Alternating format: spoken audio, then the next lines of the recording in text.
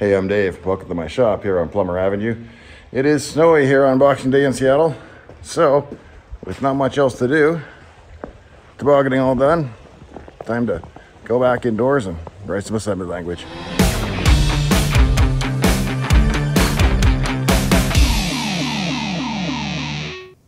Hey, I'm Dave. Welcome to my shop. I'm Dave Plummer, a retired operating systems engineer going back to the MS DOS and Windows 95 days.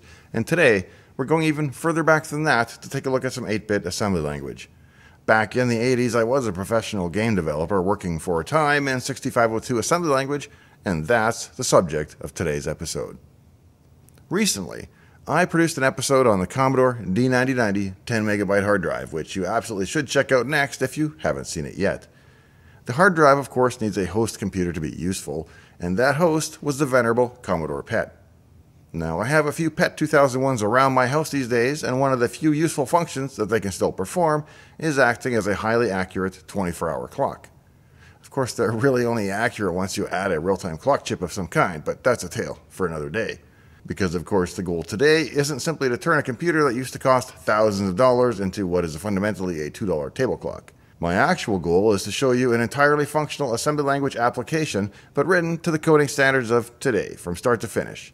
We'll go through the code and see how the time of day is read from the clock, how it's parsed out, and ultimately displayed graphically on the screen.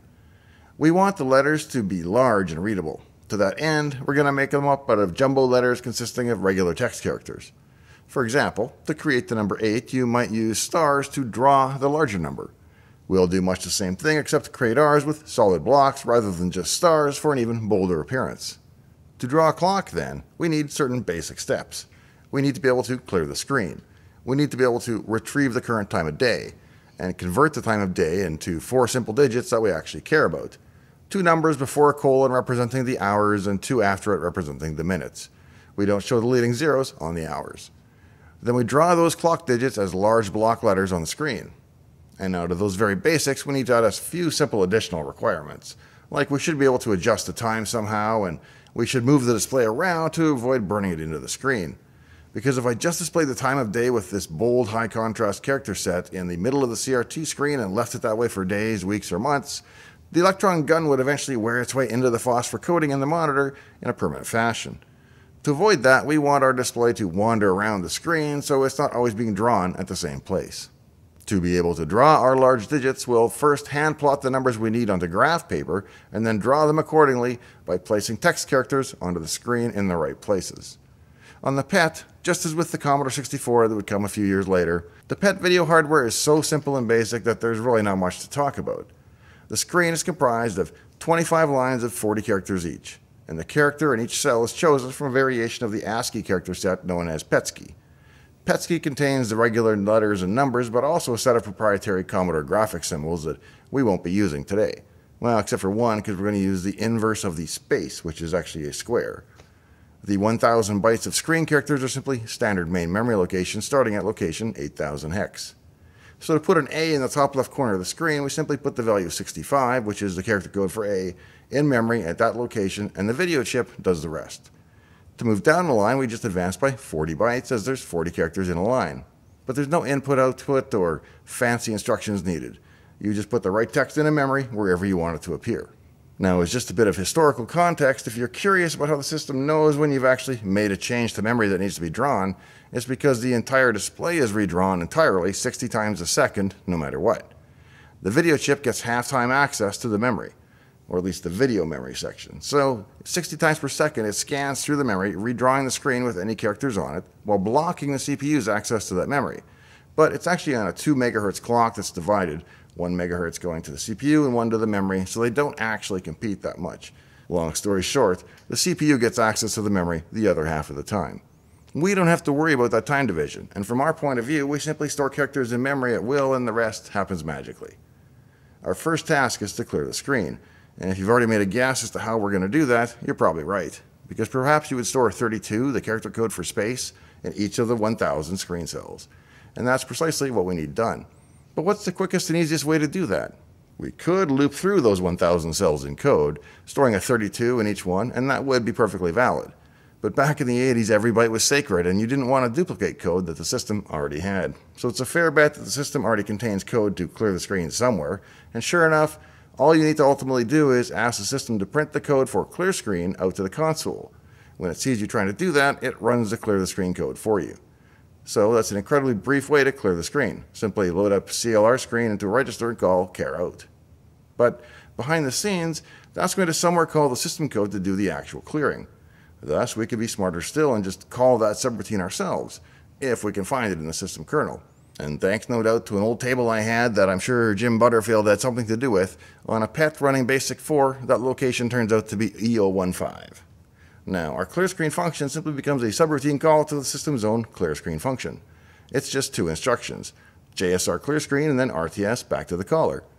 But if we want to be really efficient and a little less readable, we could actually change it to be just jump clear screen. But why? Because if you look at the code to clear screen, the last thing it's going to do is to execute an RTS, or return from subroutine. If we change our own call to a jump, the return address on the stack is our caller. So at the end of the clear screen call, its RTS would actually return to our caller. It's super efficient, tiny, clever, and something I'm showing you only for the sake of proving that I know about such optimizations, but will not be making any of them today. That's because my goal today is not to impress you with how efficient and arcane I can make my assembly code. I want to write my code basically like it's 2022, not 1982. I know and you know that we've got at least 4K and probably 32K here to work with, and we're only doing a clock, so we don't really need to employ every last memory saving trick at the expense of our code becoming just a little too clever for its own good. So, with that preamble out of the way, let's get busy. I'm going to jump live into my editor of choice, Visual Studio Code. I have everything set up here for a nice little development environment. I'm using the CC65 cross compiler project from GitHub to build my code. But I'm only using the assembler and linker from that package, not the C compiler yet. Now, I think it's valiant and amazing that there's a C compiler for 6502 at all. And if you'd like to see me experiment with it, by all means, let me know in the comments. For today, though, we're only worried about assembly, so I'll be using CA65, its assembler, and CL65, its linker. Now, as you can see, I have the code live up in front of me over there, and the Vice session showing my pet screen right below me. When I select Run Build Task, VS Code will fire off a build, which is really just an assembly and link. If successful, the PET program binary that results will be called petclock.prg, and it will be placed right in our folder next to our source code. But better yet, I've mapped that entire folder to be device 9 on the PET. Okay, if all goes well, I've got the folder on the Windows PC mapped to be the actual drive that shows up on Unit 9 of the PET. So when I do a directory of U9 on the PET, I should see the contents of the source code folder on the PC. Let's see. dir on U9. Sure enough, there it is. Now, there's no pet clock yet because we haven't built. So watch as I build, select, test, run, the whole deal. All right, it's compiling, it's assembling, it's now built. And if I do another dir, I want to make sure it's there. Petclock.prg, there we go. So I'll say dload, because I got basic 4, petclock.prg on U9. Whoops, if I take a listing, it's a remarkable clock by me and a system call to 1076, which is where the assembly language code starts in memory. So if I run it, my keyboard is as flaky today as a real pet. What? That's really weird because I always get that on the pet, but not on my PC. Anyway, there's my big block clock. So the actual code at the start of the assembly language file is all there in order to properly emit the basic stub and all that. It's actually pretty complicated, so it's going to be the last thing we look at.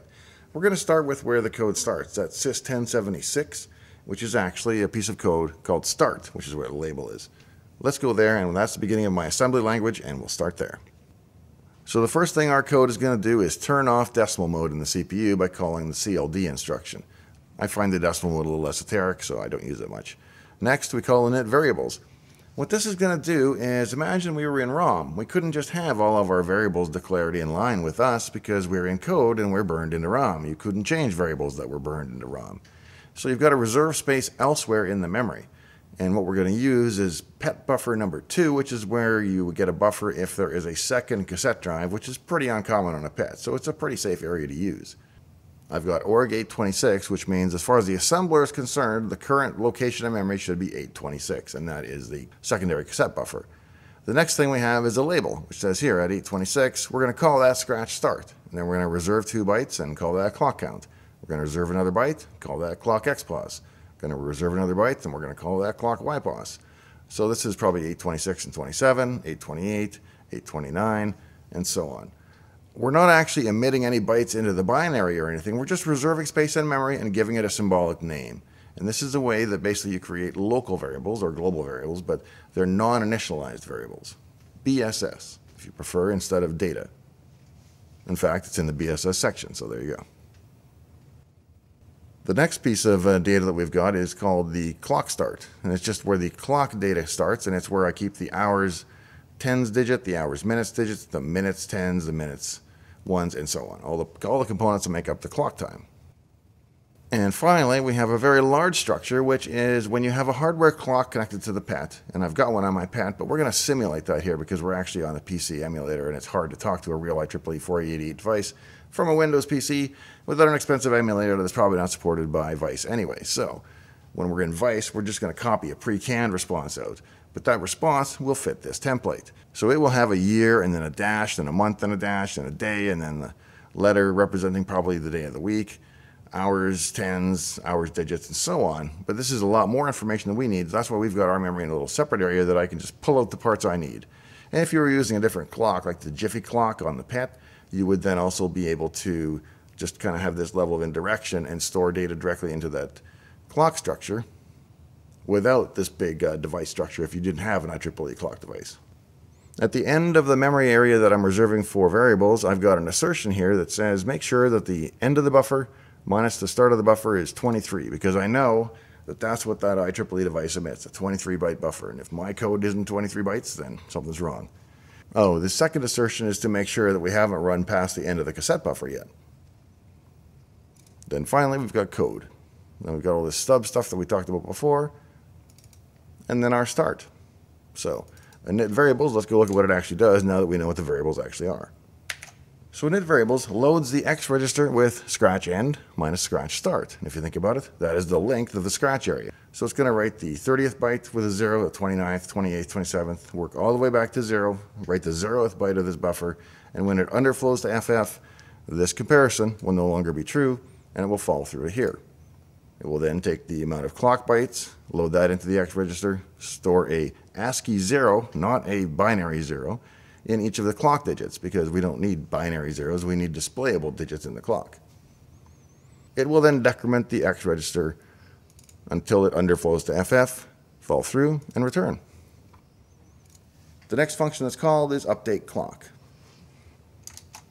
Everything after this point will be in the main loop. So this is the second and the last part of initialization.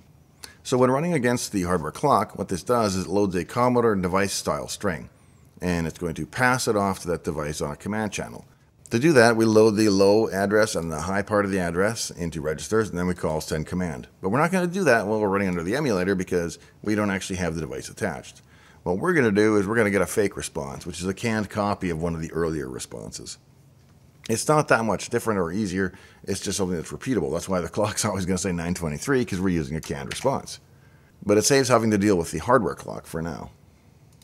We'll look at that code if it's of interest later, but for now, all we're doing is copying a string, which is using the Y register.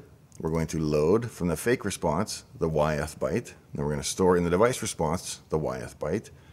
And we're going to, uh, what the heck are we doing? Oh, until one of those bytes is zero. So as long as those bytes is not null terminated, we're going to loop by incrementing Y and jumping back to here. All right, with the device response now in memory, whether it's from the fake response or for the actual device, it doesn't matter where we got it. Oh, I should actually show you what that response looks like. It's just a string that comes back from the device normally that has the year, the month, the day, uh, the hour, the minute, the second, and the day of the week. And so I've got a copy of that here, and to simulate the device, we're just going to copy this string into the output buffer whenever asked. All right, once we've got that response, we're going to take the hours, tens, and store it in our hours tens. We're going to take the clock's hours digits and store it in our hour digits. We're going to take the clock's minutes tens and store it in our minutes tens. So we're pulling selectively information out of that big device structure that we actually care about. Uh, we'd like the data to be contiguous, so we don't want to just refer to it in place in the clock structure. Now in America, we think there's too many hours in the day already, so we don't really believe in 24-hour time. We just like to do two 12-hour loops. It's less work. So to convert the 24-hour time back to 12-hour time, what we do is we check to see what the hour's tens digit is. If it's a zero, well, that's pretty easy. If it's a two, we know we have some work to do. Uh, if not, we fall through knowing it's a one, and then we check to say, is it a 13 o'clock or higher? If it's 13 o'clock or higher, we're going to back up by 12 hours. If it starts with a 2, that means there's a 0. There's a 2 in the tens place. We're going to go to here. It's going to be a little fancier, this section. So it's going to decrement the hours tens twice, which is worth 20 hours. It's then going to take the hour digits, and it's going to add 8. Why 8? What's up with 8? Well, what it's actually doing is it's adding that 20 that we just got credit from the tens digits, and then it's backing off 12 hours. So you're really adding 8 and it works out mathematically the same. And it's a much shorter calculation. It's handy. I may have invented it. Call the patent office if it's important. Oh, and for the curious about the IEEE 488 device, this is the command that you would actually send to it. If you're trying to format a Commodore hard drive, you would send it n0 colon name comma id 0, stuff like that. To query the time from the real-time clock, you just send it t-ri. Once it sees that, it responds with that device string that included all the time information. All right, that's all the preamble, that's all the setup, that's all the nonsense. Now it's the bread and butter of actually looking at the clock and drawing it on screen. Now, each and every time we come through the main loop, we call draw clock XY with the current XY position of the clock. It starts out at 00, 0 and it will drift around from there. Let's go to draw clock XY to see how it does it.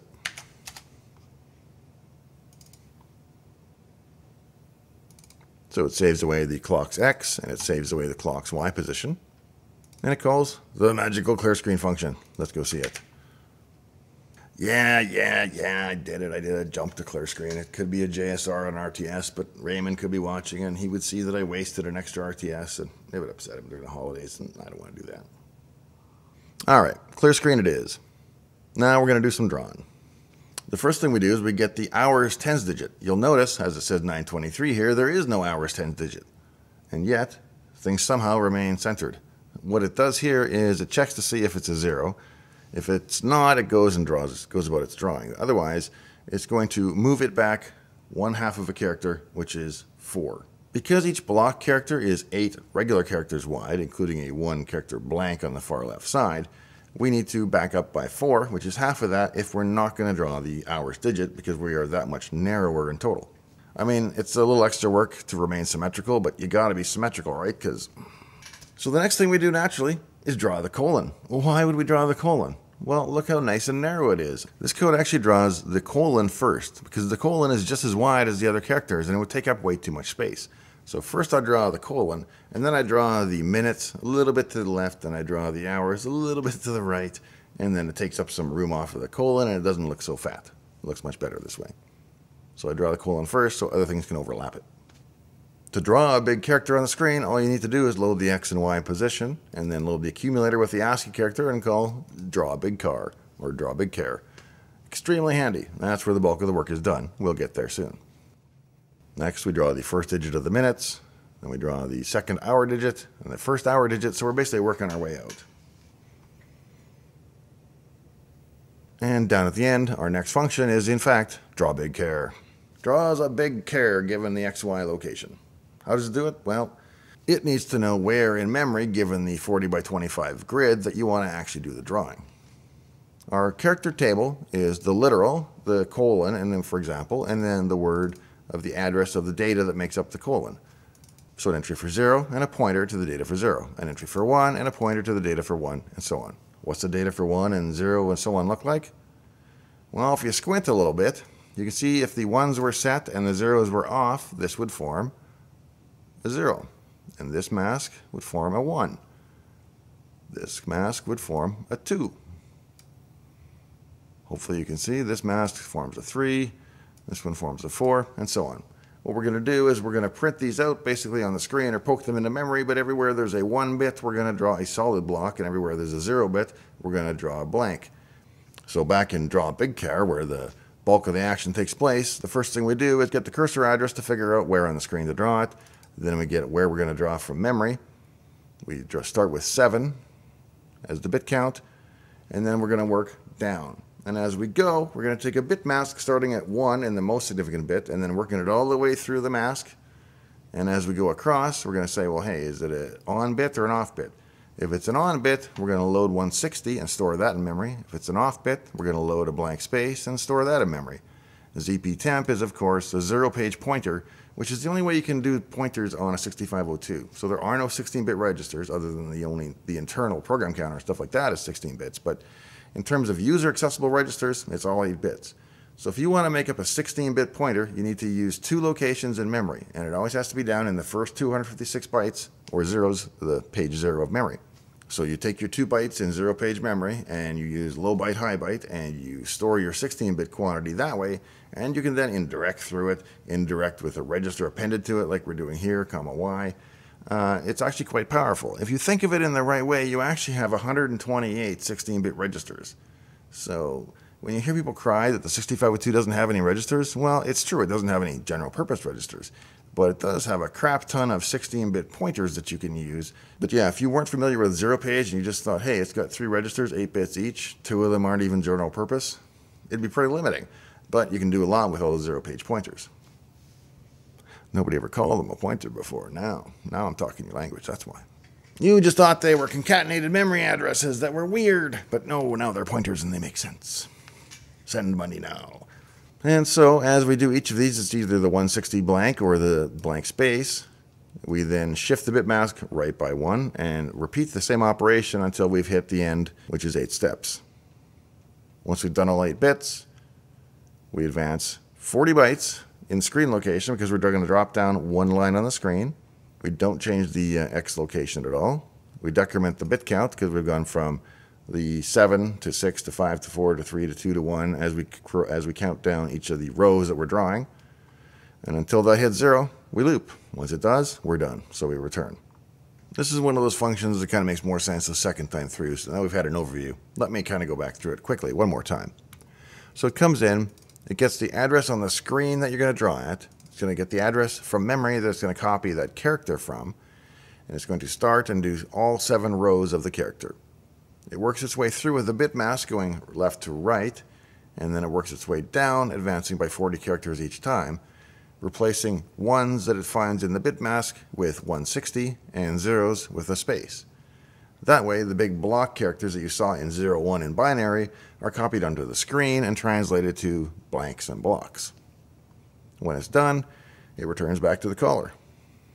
Okay, back to the actual main loop now. You've seen the bulk of the code. The rest is kind of housekeeping and plumbing. So let's take a look at it. After we draw the clock, we're going to call a function that's going to decide whether or not it updates the clock position. As you can see, it does. It jumps around every few seconds. Let's go find that. And it's going to return the carry flag to indicate to us what it did.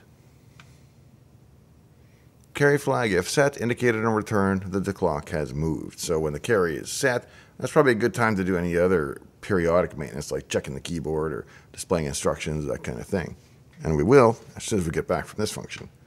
So what this is going to do, it's going to count up to 255 some number of times, basically 200 times. And once that's happened, it knows enough time has elapsed that it's time to move the clock again.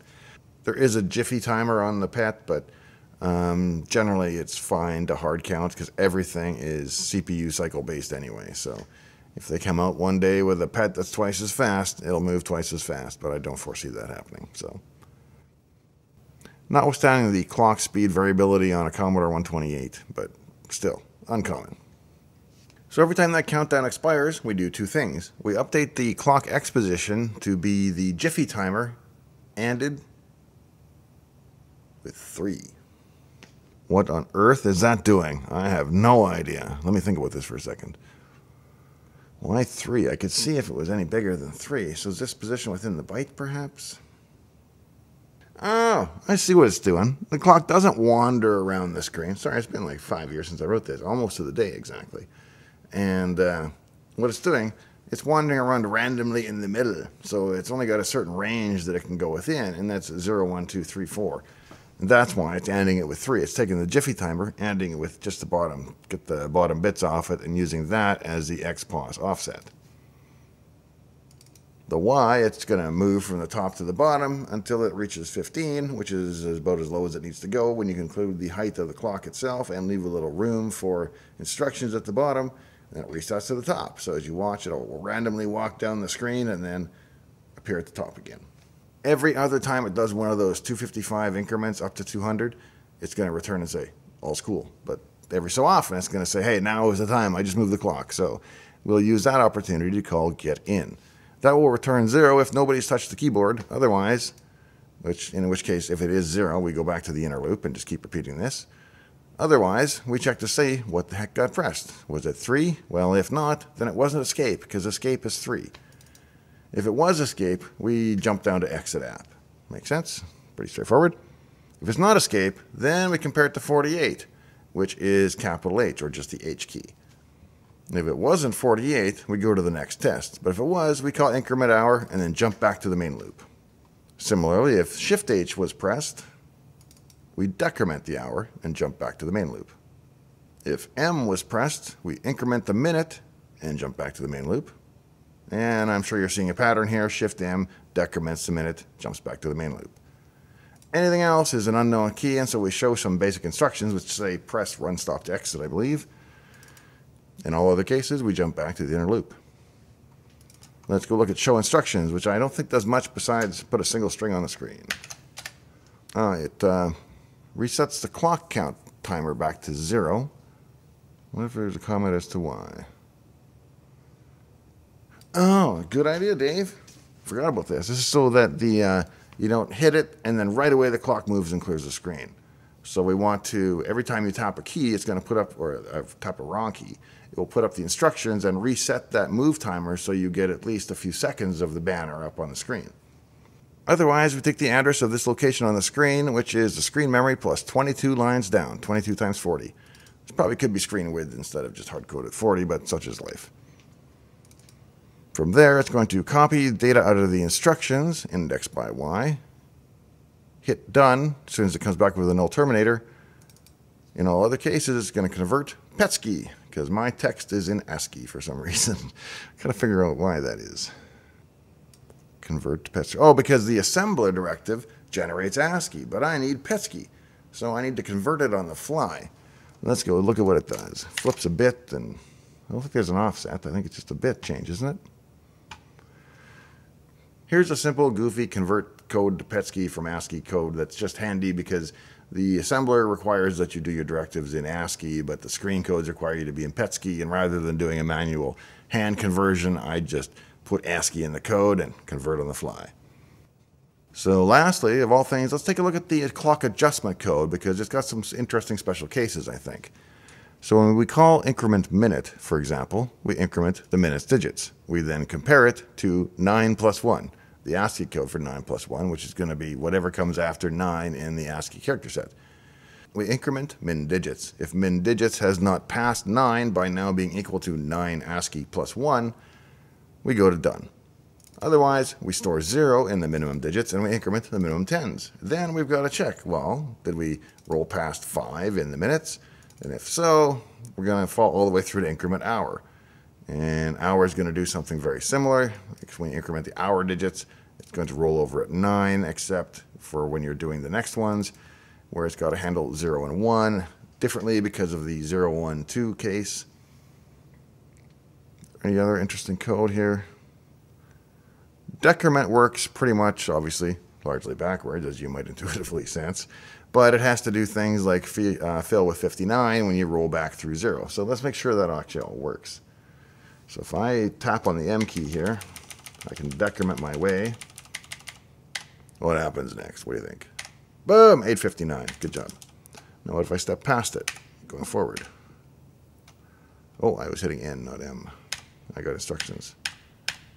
Rolling forward works. So at least around the hour case it works. How long would it take me to get to the no key repeat on this? Oh, I can do hour, hour, minute, minute, minute, minute, minute. Let's do a really degenerate case. We're going to roll over by minute going 11.59 to 12.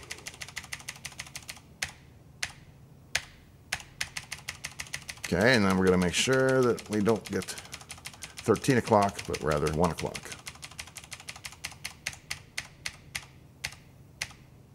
Perfect. I've tested every case exhaustively. The code is proven perfect.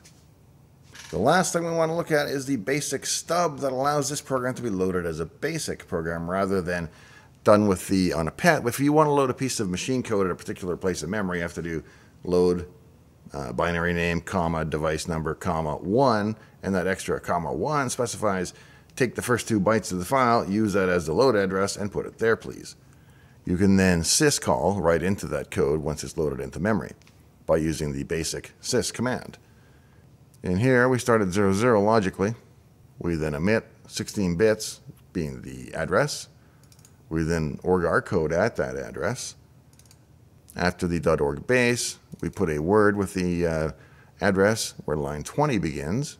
We then put 10 for line number 10 the token, I guess is the better name for it, for the REM code, the actual string, archable clock by Dave PL, then the address of the next line, which is going to be a zero. So it's end of basic, it's a word, zero, zero, zero, zero. So that's the next line. The last line, which is not the next line, is again line 20, the sys token, a space, and then literal string here. And this is some assembler fanciness that takes the current address, adds 7 to it because we have the byte and the words here, and winds up putting you at the right address. So you can't do a forward reference very well with this assembler. Otherwise, I would just put out the literal for start, but I wasn't having any luck with that, so I've got to do this current location plus 7. But that generates the system call to 1076, and all is well. Now, I don't have any Patreons. I'm just doing this for the subs and likes. So if you enjoy this kind of weird assembly language look back, then please consider subscribing to the channel. Or if you already are subscribed, drop this one a like or leave a comment to let me know you're out there. Thanks for joining me out here in the shop today. Hope I didn't bore you too much. This assembly language stuff is a little arcane, and I kind of wanted to skim over some of it and take a deeper dive into some of it. Wasn't my goal to teach it today, just kind of show you how it works and what the problems you face are. So in the meantime and in between time, I hope to see you next time right here in Dave's Garage.